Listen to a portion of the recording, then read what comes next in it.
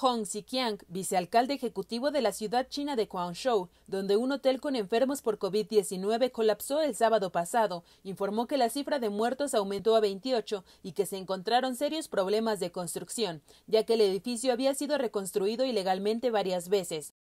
Al colapsar la construcción, 71 personas estaban atrapadas, por lo que todavía se mantiene la búsqueda de una persona más.